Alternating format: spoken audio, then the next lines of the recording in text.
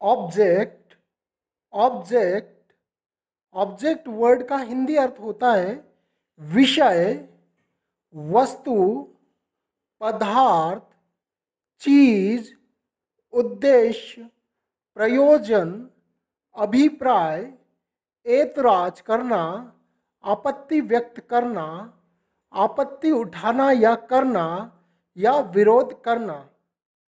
आइए object word को हम कुछ उदाहरण के माध्यम से और अच्छे से समझने का प्रयास करते हैं। हमारा पहला उदाहरण है an object was magnified ten times by the microscopes इसका हिंदी मतलब है, एक वस्तु को सूक्ष्मदर्शी द्वारा दस गुना बड़ा किया गया। आइए दूसरा उदाहरण और देखते हैं। Working people everywhere object to paying taxes. इसका हिंदी मतलब है, हर जगह काम करने वाले लोगों को टैक्स देने पर आपत्ति है।